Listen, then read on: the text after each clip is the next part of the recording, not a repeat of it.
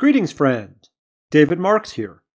In this tutorial, I'm going to discuss the toolbar in Adobe Photoshop Lightroom Classic.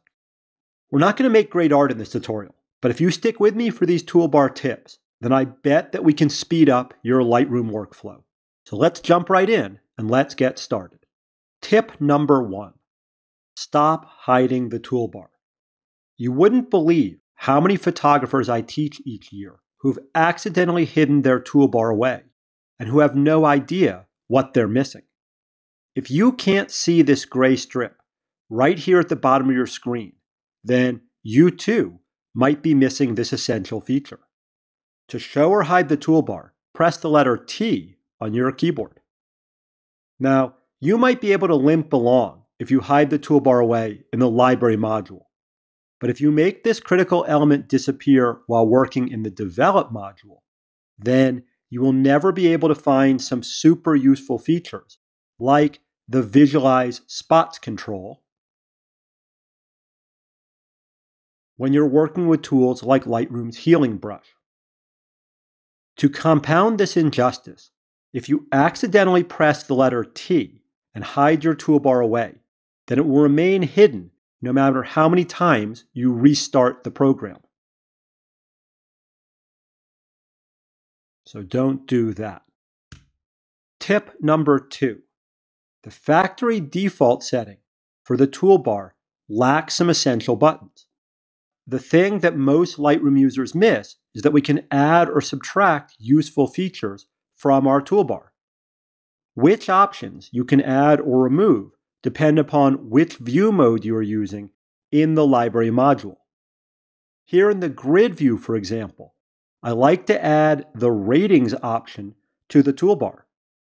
To do this, I need to hold down the left button on my mouse while hovering over this little triangle here. And then I need to scroll down in this awkward floating menu. At a bare minimum, I like to have the sorting, the rating, and the thumbnail size options active. I rarely use the metadata painter tool, so I'm going to remove it from the toolbar. Now, I would love to tell you that adding these features onto the toolbar in the library module grid view is the end of it, but that's not true. And that brings us to tip number three. Tip three the zoom slider is super useful when you are in the loupe view mode. Why Adobe set things up this way a decade ago and why this UI lunacy persists is beyond me. The whole purpose of the loupe view is to let you explore critical details of your image before you jump over to the develop module. To accomplish this goal, we need to be able to zoom in and zoom out with ease. If you know your keyboard shortcuts, then you might be okay in here. But if you're unaware of these secrets, then this part of the program is not terribly useful. What benefits everyone is to show the zoom slider. And to do that, I need to bring the mouse, the cursor, back over here. I need to hold down the left mouse button, and I need to come down and add zoom to the toolbar. Once I've added this simple control, then I can drag the control point up to zoom in or down to zoom out. I can also double click the word zoom right here whenever I want to instantly jump to 100% view. While we're in this view mode, unless you're scanning a lot of film, I see no reason why most digital photographers need to keep the rotate buttons visible at this point. To remove them, I'll click here and I will uncheck rotate. If we jump into Lightroom Classic's Develop module, then we will find that some other super useful features are missing here too.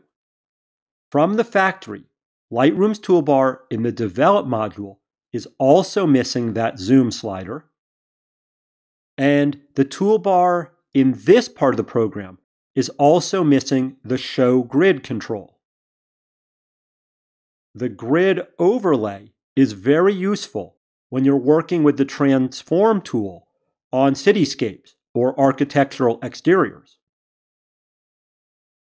Finally, the factory default setup prominently features the soft proofing option.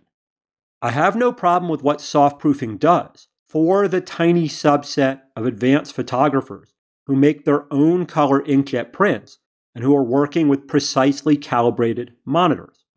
But if you're not a fine art printmaker, or if you're not working with a true calibrated display, then the soft proofing feature is completely useless, and there's no reason to keep this option pinned to the toolbar.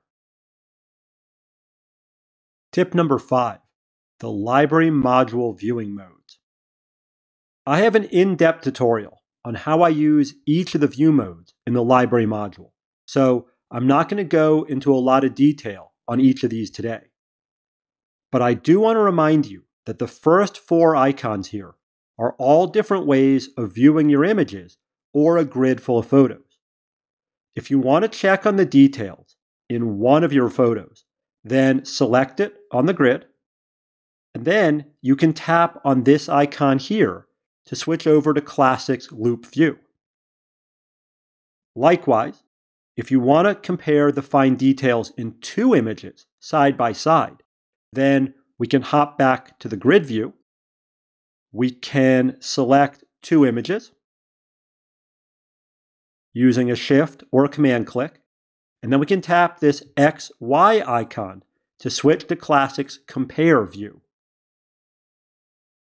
The point I want to make is that these first four icons are all useful when you're evaluating your images and you're trying to find the very best one. The last button in this section, though, the one with a person's face on it, does something different. Unlike the others in this section, activating this button triggers Classic's Detect Faces search mode. Once you enter this mode, Lightroom uses artificial intelligence to try and find and identify all of the faces in your images. While this option can be useful, the point that I want to make is that this is a very different type of tool. Unlike the icons further to the left, the Detect People mode is of no use for landscape or macro photographers. And even you portrait folks might not want to use this tool unless you are aware of some of the strengths and weaknesses of Classic's face detection system. Bonus tip number six the sort order.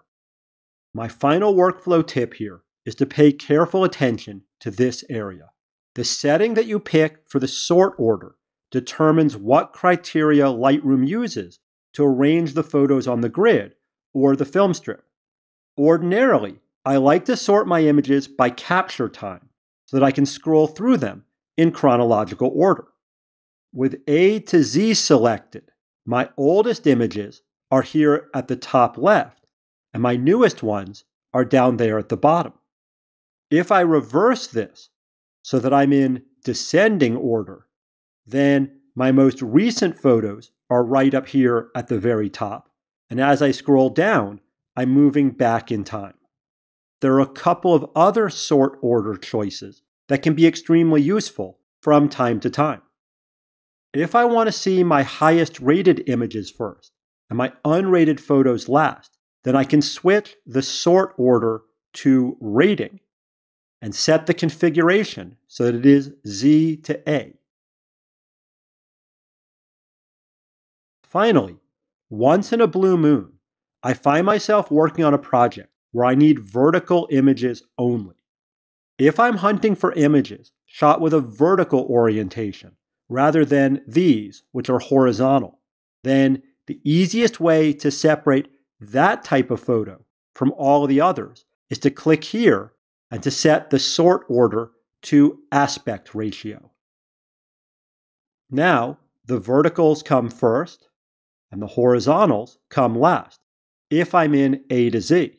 And if I were to flip it, then all the horizontals would be first and the verticals at the very bottom. Just so you know, Classic actually recognizes three aspect ratios. We have vertical images we have horizontal images, but we also have these, which Lightroom recognizes as squares. And if you crop something to one to one using the aspect ratios in the Develop module, then Classic will group all of your squares together when you're sorting this way. I don't find myself searching for verticals or squares very often, but once you know this trick, you can save yourself a ton of time by using this toolbar option. Well, there you go. I hope that you found this lesson helpful and that some of these tricks will dramatically enhance your everyday life. If you learned something today, then please leave us a like or a comment down below, and don't forget to subscribe to this channel. Thanks for watching and I'll see you in our next tutorial.